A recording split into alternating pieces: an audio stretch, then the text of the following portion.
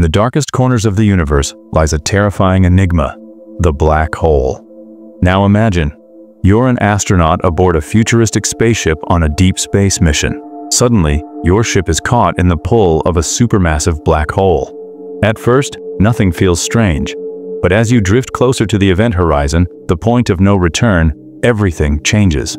Time begins to slow. Your crewmates watching from afar would see you freeze at the edge, never quite falling in. That's time dilation. Near a black hole, time slows down so drastically that seconds for you could be years for someone else. As you cross the event horizon, light can't escape, and neither can you. Outside, your ship stretches, pulled like spaghetti in a process called spaghettification. Inside, your body feels nothing, yet space and time begin to warp beyond comprehension. What lies beyond, no one knows. Some believe you'd be crushed into a single point, others think you might pass into another universe.